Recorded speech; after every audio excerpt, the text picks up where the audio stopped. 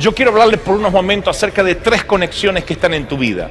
Tres maneras de conectarte que te van a revolucionar y cambiar la vida. Ahora, ¿cuántos están dispuestos a recibir esta revelación con la mente abierta? Dice, Señor, yo estoy dispuesto, quiero beber y comer todo. Levanten la mano como señal. Muy bien, confío en ustedes. Primera conexión divina que, o de oro que yo quiero transmitirle, de estas tres tipos de conexiones. Cuando la conexión de oro viene de la persona menos probable. Te dicen, ¿y qué me sirve una conexión? Ahora se los voy a explicar por qué es que Dios quiere conectarnos. Cuando te conectas con la gente justa, surgen los mejores negocios.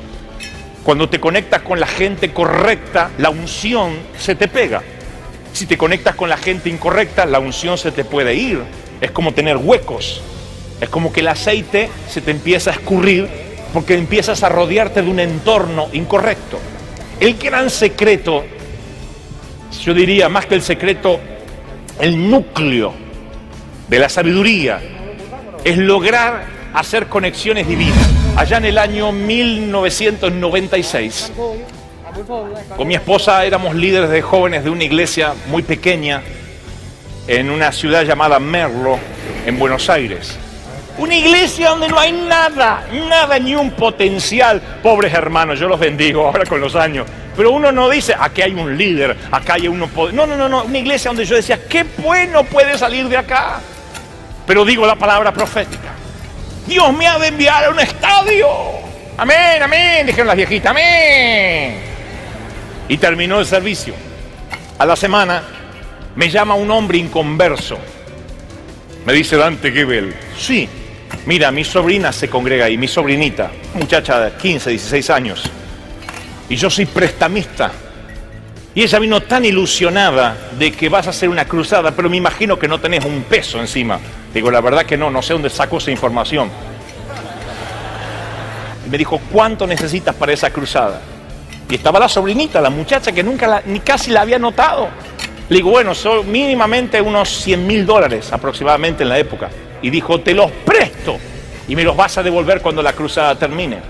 De hecho, que me los prestó. Cuando la cruzada terminó no tenía para devolverlo porque todo se gastó. Pero el mismo hombre que ahora me prestaba 100 mil dólares para mi primera cruzada, cuando yo no tenía un dólar, era el mismo hombre que un mes después me decía, está sembrado, está donado, olvídate, valió la pena lo que has hecho por la juventud. Conexiones de oro. ¿Cuántos quieren una conexión así? Díganme amén. Quiero decirte, amigo, no sé de dónde vienes, no sé si eres de la iglesia o nos visitas, pero durante este mes el Espíritu Santo te va a dar órdenes puntuales de hablar con personas que tú ni siquiera te imaginas ni sabes por qué estás hablando. Ya sea en un mercado, ya sea en un automóvil, ya sea con el chofer del taxi, no sé. A los que están mirando por televisión les digo lo mismo. El Espíritu Santo me mostraba que Él está gestando en los aires una red espiritual más grande que Facebook, más grande que cualquier red social. Y si tienes los ojos abiertos, Él va a abrir puertas. ¿Cuántos lo creen? Díganme amén. Él va a abrirte puertas. Número dos, cuando la conexión de oro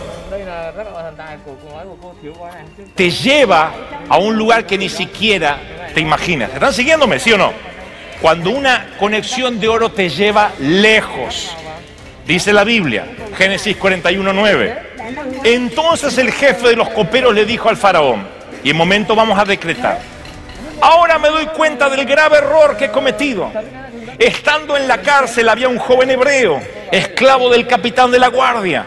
Le contamos los sueños y nos interpretó los sueños. A mí me restituyeron el cargo, al jefe de los panaderos lo arcaron y el faraón mandó llamar a José y enseguida lo sacaron de la cárcel. Présteme atención, por favor. Segundo, segundo caso. El primer caso es cuando la conexión de oro viene por quien menos esperas.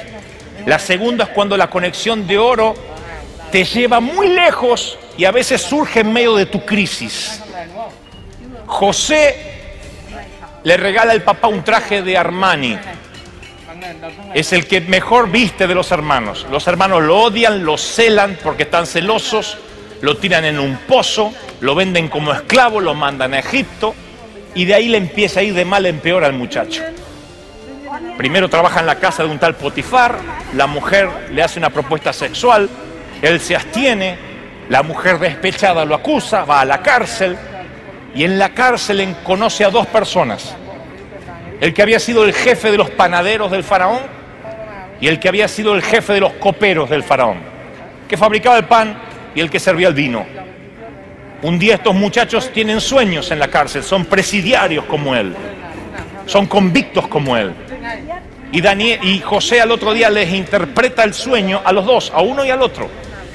Al panadero le dice, tengo una mala noticia, te van a cortar la cabeza. Eso significa tu sueño. Al jefe del copero le dice, y tú vas a ser restituido en tu puesto. El faraón un día se va a levantar con el pie derecho y te va a poner donde estabas y nunca te debió haber sacado. Y le agrega algo más. Ah, acuérdate de mí cuando estés ante el faraón. Dile que yo estoy aquí. Y todo ocurre tal cual como José dijo. Esa conexión que ocurre ahí en la crisis hace que el panadero sea, sea, sea ejecutado y el jefe de los coperos esté al lado del faraón, pero se olvidó de José. Mino, lo que menos se quiso acordar de aquel convicto. Hasta que, como leímos recién, el faraón tiene un sueño que no lo deja dormir vacas gordas que se comen vacas flacas. No sabe qué está significando y, llama y hace un cónclave con todos los, eh, los eruditos del reino y nadie sabe decirle qué va a suceder. Y el jefe de los coperos dice, ay, metí la pata, ya me acuerdo. Allá en la cárcel conocí un loquito, un israelita, que me interpretó los sueños a mí y al otro. Y si tú lo traes, quizá él tenga la respuesta y el faraón lo manda a sacar de la cárcel. Una conexión que surge en medio de la crisis. Hay momentos donde vas a sentir que pierdes la casa, momentos donde sientes que pierdes el empleo y no sabes por qué, que tu ministerio se te despedaza y no sabes por qué.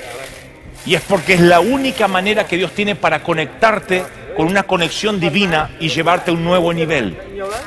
En el año 2002 hacíamos una campaña, un show teatral evangelístico en una de las calles principales de Buenos Aires.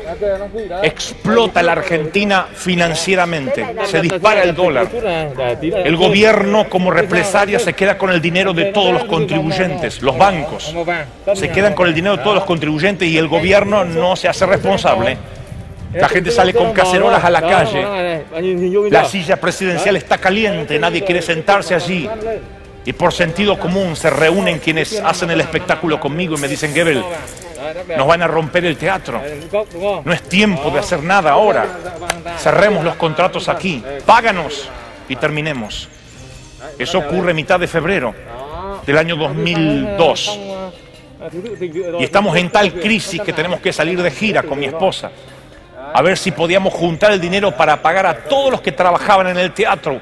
Tenía una deuda en pesos, por la noche a la mañana se me dolarizó, debía casi cuatro veces más.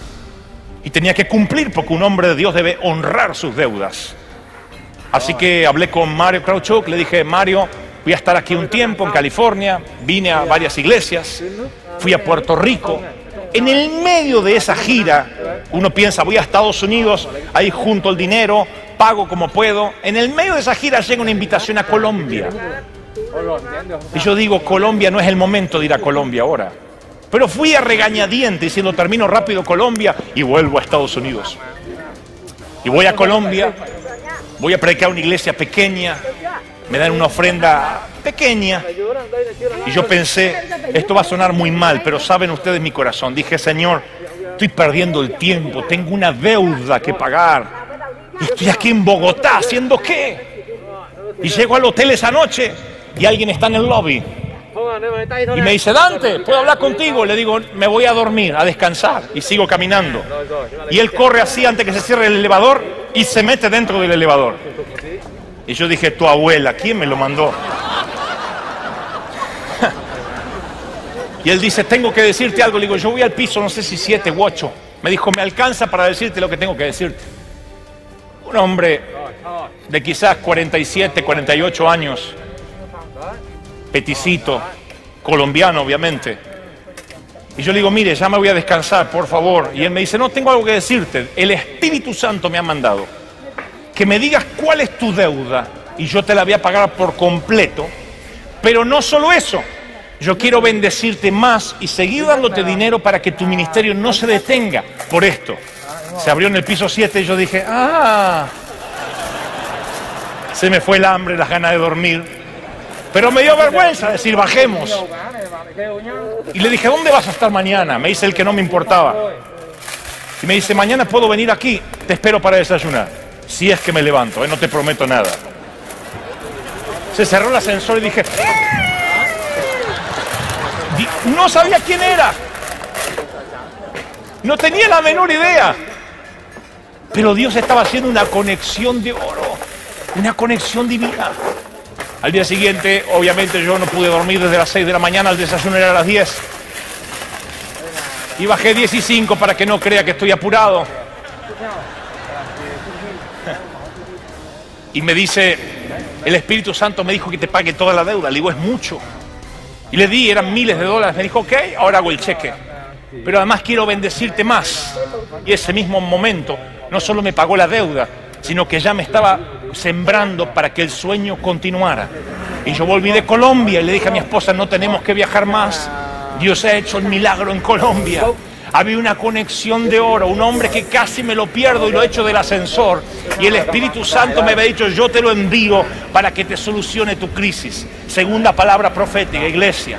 Esta semana, gente que no sabes quién es, gente que no conoces, que nunca has visto en la vida, te dirá, yo no sé por qué, pero tengo que ayudarle en este papel, tengo que poner el sello para que sí, tengo que abrir papeles, tengo que abrir conexiones. ¿Cuántos lo creen? Díganme, amén. Va a ocurrir. No pienses en quienes conoces. Será alguien que tú no conoces. Yo decía, Estados Unidos. Dios dijo, en Colombia tengo tu provisión. Gente que menos espera. Aquel que tú le estás mandando dinero dice, algo pasó, aquí te envío la retribución. Te va a restituir jueces que no saben por qué y fallan a tu favor. Va a ocurrir esta semana, es una palabra profética. Va a ocurrir las conexiones de oro para la catedral. Miren, el faraón dijo, ¿podremos encontrar una persona así en quien repose el Espíritu de Dios? Puesto que tu Dios te ha revelado todo esto, no hay más sabio y competente que tú, José. Administra los graneros de Egipto. Secreto. Nunca el faraón, dice la Biblia, que se haya entregado a Dios. Tu Dios es grande, por tanto tú serás mi segundo. Nada se hará en Egipto si tú no lo decides. Están entendiendo el punto. El faraón nunca se convirtió a Dios, pero reconoció el Dios que había en José. No esperes que el juez diga, ¡ay! Voy a la catedral. Necesariamente no esperes que ese millonario se entregue al Señor. Es nuestro deseo, claro. Pero a veces Dios solamente los usa para que tú tengas favor y gracia. No te preocupes. Si Dios pudo usar cuervos, si Dios pudo usar una mula, Dios puede darte gracia y favor con los faraones de esta tierra. Dios te va a dar gracia y favor. Aleluya. ¿Cuántos lo creen? Díganme. Amén. Entonces el rey Nabucodonosor se postró y rindió homenaje a Daniel, otra historia, y mandó que le, ofreciesen ofrendas y le dijo, tu Dios es el Dios de dioses y Señor de señores, y lo engrandeció a Daniel. La misma, la misma, eh, veo el común denominador, la misma regla. Nabucodonosor tampoco se entregó a Dios, ni creyó en Dios como su Dios, pero dijo, tu Dios, Daniel, es el Dios de los dioses. Tu Dios es el Rey de los reyes. Me sorprende que eso ocurra. Tu Dios. ¿Me están siguiendo, sí o no? Díganme, amén. Tercera conexión. Cuando tú eres la conexión de oro para otro y no te has dado cuenta. La Biblia dice que Naamán era el comandante en jefe de guerra el general del rey de Siria, el general de los ejércitos armados del rey de Siria, tenía una enfermedad, lepra, debajo de su armadura. Imagino lo que se vivía en ese hogar, porque ese hombre era leproso y tenía la, la tristeza de no poder ser un hombre como todos, no poder mostrarse como cualquiera, lepra, una enfermedad que te va carcomiendo los miembros, los dedos, pierde sensibilidad, sangre que se coagula y que se mezcla con el suero acuoso y se te pega la ropa. Tenía gran favor ante el rey de Siria, pero leproso. Y había una cautiva allí. Oigan lo que les voy a decir, esto es revelación de Dios. Una israelita cautiva, una esclava que trabajaba para ese señor feudal. No era una doméstica bien pagada a 15, 20 dólares la hora. No era, ay, estoy trabajando con mundanos, quiero dejar. Era una esclava, trabaja y lo único que va a tener es comida. Y no sé si buen trato, comida por lo menos. Una mujer que me habrá maldecido más de una vez servir a ese señor feudal. Una israelita que fue tomada como esclava y a servir a ese rey, a ese general. No sabemos si ese general abusaba de ella verbalmente, si la maltrataba, pero las esclavas no tenían buen trato, ni los esclavos, en los tiempos que hablamos. Ella sentía lo que muchos de acá están sintiendo. Pastor, estoy harto de estar trabajando en la mugre. Esta palabra va para los que están trabajando en los basureros. Basureros sociales de lunes a viernes de lunes a sábados. Los que trabajan con mundanos que insultan. Hombres que te miran cuando caminas y que eligen el escote por encima de la capacidad. Aún los que están en grandes compañías a veces se sienten que están en un enorme cubículo de basura, soportando trepadores, gente que pisa la cabeza de otro para llegar ahí. Y en tu interior has dicho, ¿cuándo Dios me sacará de esta mugre? El Señor me dice que te diga, no te quitaré de ahí, porque tú no eres sal para estar dentro del salero Tú no eres luz para estar donde está el día. Tú eres sal para estar donde está el sinsabor. Y esta mujer, esta esclava, se acerca a la mujer de Namán y le dice, oiga, conozco un profeta que si Namán, si el, si, si el Señor se anima, el profeta puede sanarlo. Ella no tenía que predicar. Ella no tenía que hablarle para que ese mundano se sanara. Yo hubiese dicho, encima que me tomó de esclavo, encima que es un sirio, enemigo del pueblo de Dios, que se muera de lepra. Pero ella dice, hey, hey, hey, ¿sabe qué? Ahora entiendo.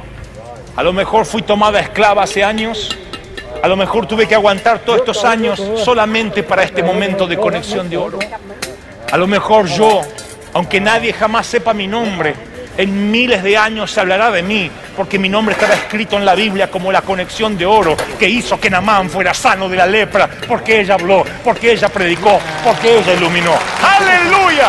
¿Cuánto lo creen? Díganme. Amén. ¡Oh, bendito Dios! Dios te ha puesto allí. Y esto es lo tercero que voy a decir, para conectarte con gente que necesita oír de Dios. No te apures. Va a haber un momento donde vas a hallar gracia y favor. Tuvimos una cita, como le decía, con el pastor Mario esta semana, con una muchacha que decía, Dios me ha dado gracia y favor, han cambiado la manera de mirarme. Ese jefe ahora me mira diferente, me trata con respeto. Y yo le dije, no te apures. Y ella dijo, wow, toda mi vida pensé y oré para que Dios me quitara de ahí. Le dije, no, tú eres crucial. En el, cronograma de Dios, Dios te has puesto allí para que algo ocurra. Tú eres determinante, eres el átomo que va a explotar en el momento indicado. En ese basurero donde Dios te puso, en algún momento alguien hallará un milagro de Dios tan solo porque tú estás ahí. El Espíritu Santo me dice, aunque te envíe a Las Vegas, ahí tú vas a iluminar, ahí tú vas a ser un agente de cambio, tú vas a hacer una conexión de oro. ¿Cuántos toman esta palabra? Dígame amén. Una conexión divina. No, no, no, no, no. ¿Cuántos me dicen amén? Una conexión divina, una conexión de oro. Nos gusta recibir conexiones, pero tú también eres una conexión de oro. En el año 2000, no, 1997 el teléfono de nuestro departamento empezó a sonar. Y yo venía orando que Dios haga un gran milagro. que Dios abriera las comunicaciones. Y si Él pudo traerme un prestamista para mi primera cruzada, Él seguiría moviendo contactos divinos. El teléfono suena, suena insistentemente. Y de pronto levantamos y dice, aló, habla el Puma José Luis Rodríguez. Año 97. Yo le digo, sí, acá habla el león de Judá. Y él insiste y me dice, soy el Puma. Y yo le digo, sí, yo soy el tigre de la Malasia. Mi mujer me miraba. ¿Con quién hablas? Mira, eh, estoy aquí en Argentina. Y ¿sabes qué? Tengo una carga por ti, porque no me vienes a ver, soy el Puma. ¿Cómo uno comprueba de que es un artista el que te está llamando cuando jamás, jamás en mi vida ni sabía que el Puma alguna vez iba a tener mi teléfono? Le digo, a ver, Puma, ¿quién te dio mi teléfono, Puma? Y me dice, lo conseguí por alguien, me volví loco, llamé a las productoras, a la librería Peniel, me dieron tu teléfono, este es el tuyo, tú eres Dante Gebel. Y ya estaba molesto. Me digo, bueno, Puma, ¿dónde te puedo ver, Puma? Y me dice, en el hotel Sheraton a tal hora. Así que le dije a mi esposa, no sé si es el Puma o esta es una mala broma, pero quiero bajar al sepulcro sabiendo quién es el desgraciado que llamó a mi casa haciéndose pasar por el Puma. Y fuimos con Liliana los dos al hotel. Y llegamos a, a recepción. Hay un tal Puma acá, Rodríguez. Oh, sí, usted es el señor Antequever, lo está esperando. Yo dije, es una broma muy bien armada, esto lente loco. Y seguimos. Y abre la puerta y ahí estaba José Luis Rodríguez. Oh, Dante, encantado de conocer a tu esposa, pasa por aquí. Nos sentamos mirándolo al Puma. Yo hasta ahí ya estaba feliz. Y le digo, ¿a qué debo tu llamado? Y él me dice, mira, yo soy amigo del presidente de la República, Carlos Menem en aquel entonces. Y yo pensé que tú eres un tipo exitoso, un tipo con mucho carisma y etcétera, etcétera.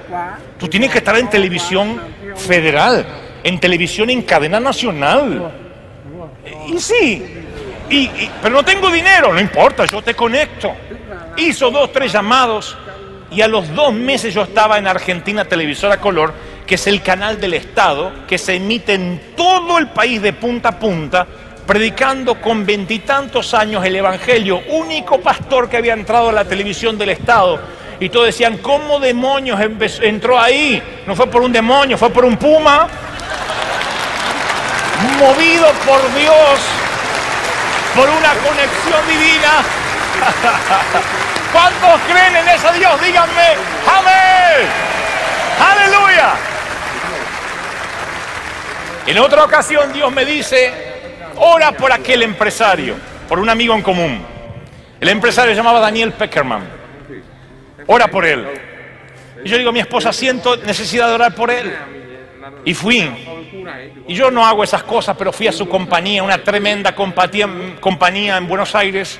Me acuerdo que había un gran gorila, como si fuera King Kong, literalmente, en la puerta de su compañía, un gran gorila. Y había un montón de robots y de cosas. Era un hombre que hacía merchandising, empresas, ha producido los mejores espectáculos teatrales de Buenos Aires. Y estaba allí y le digo, el Señor me mandó a que ore por ti. Esto fue en el año 1997. Y me dice, ¿pero por qué? No sé. Y me dice, ¿supiste algo de que me estoy fundiendo y mi compañía está mal? Le digo, no, pero me mandó a que te ore. Y él me dijo, yo soy agnóstico. Me fumaba en la cara, me hacía... Me hacía los circulitos así. Así que vos vas a orar y Jesucristo me va a sacar de la crisis. Le digo, no sé si te va a sacar, pero Dios me mandó que te orara.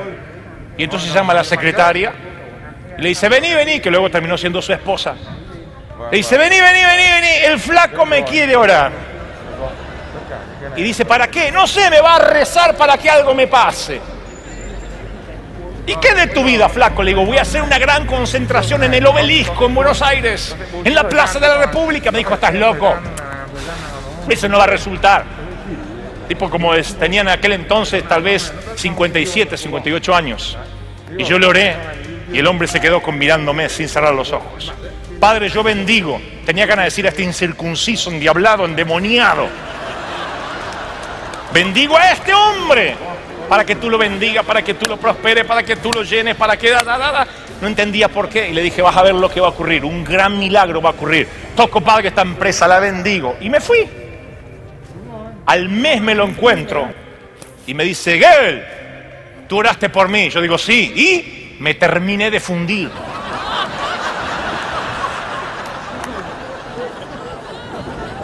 Me inhabilitaron. Tengo todos los cheques en contra. No fui preso, no sé por qué. Decime, ¿qué hiciste? Te oré. No me ores. Le digo, pero no sé qué pasó. Y yo me quedé frustrado.